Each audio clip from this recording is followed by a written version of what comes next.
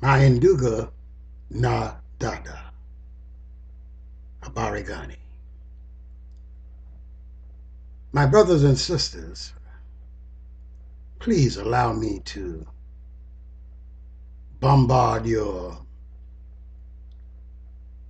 thinking and brain, your space, for just a moment or two to pull your coat to what's going on. Of course, some of you already know. But this might enhance your understanding a wee bit more. Are you willing to give it a chance? My brothers and sisters, I just want to make sure that you understand that the meaning of words determines on who is using the words and defining the words. Power consists of nothing but an equal or greater power. So the definer of words is the one who has power.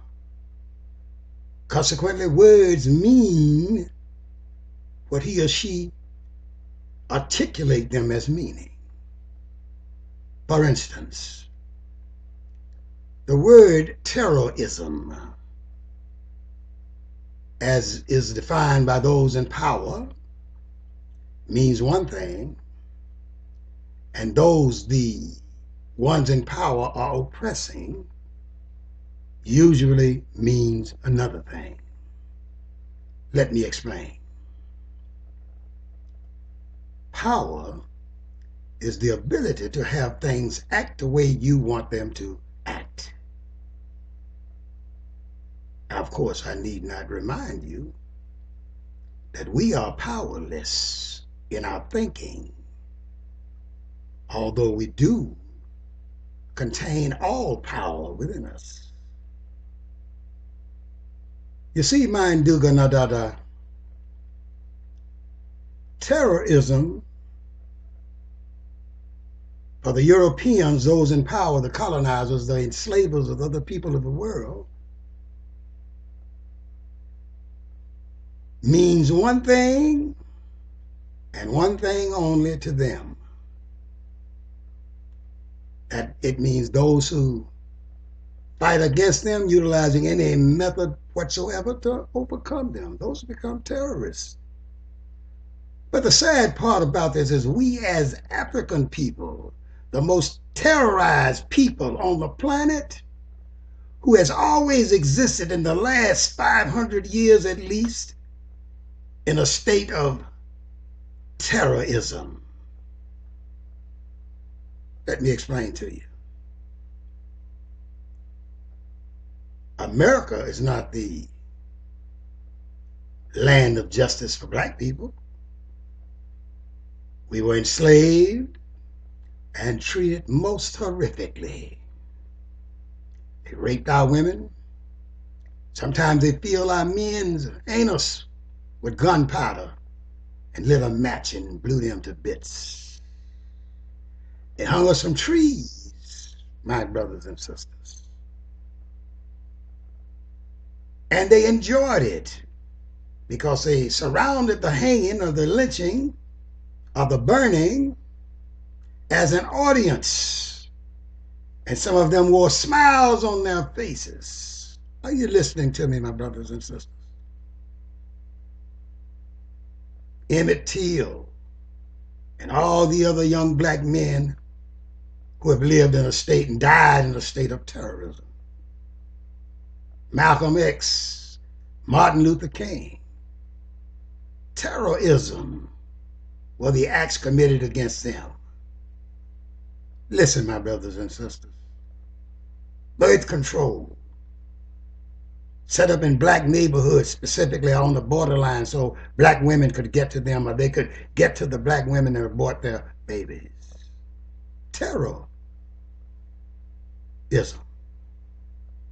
Working our ancestors from 6 a.m. to 6 p.m., six days a week, 52 weeks a year and not giving them anything but the guts of hogs and the stuff that they didn't want chicken necks and chicken feet, sometime a chicken wing.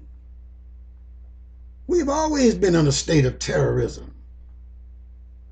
I don't want anybody who thinks they are in power because I know I have power also.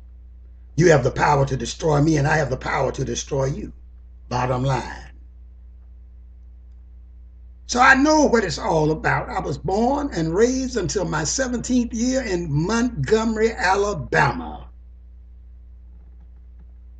George Wallace's hideout. Are you listening to me?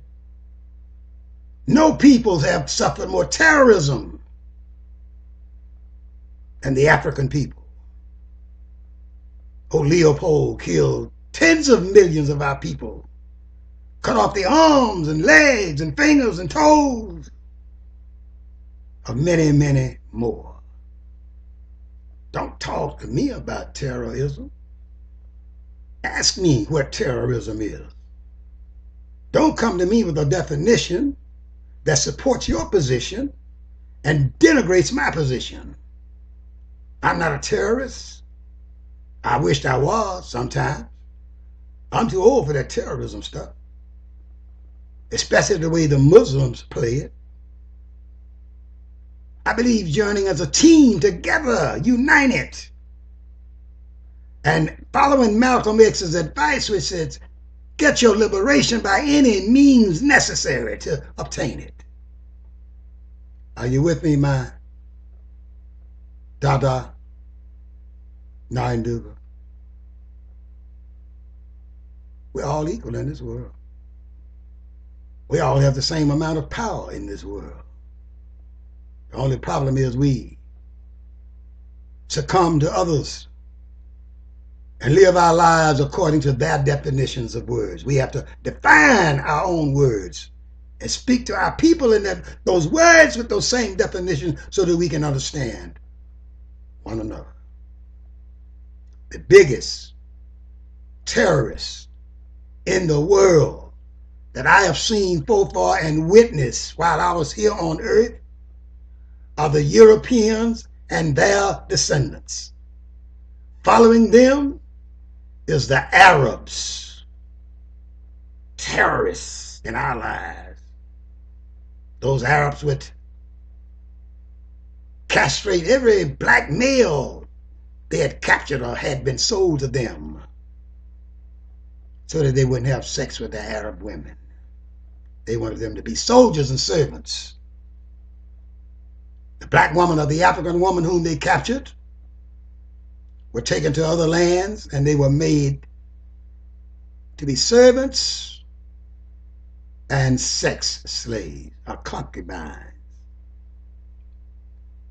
So you can't tell me nothing about terror. I know what terror is, and I know who the terrorist is in my life. Do you want me to tell you who my terrorist is? I just told you the Europeans, their descendants, and the Arabs are our problem. They are the terrorists in our lives. The Arabs for over a thousand years, or nearly a thousand. And the European now for about five to six hundred years have been visiting nothing but terror on us and in our lives. Don't talk to me. I know who the terrorist is. I know what terrorism is. Do you understand me, my brothers and sisters? If you do, once again, peace and uh, hotep to you.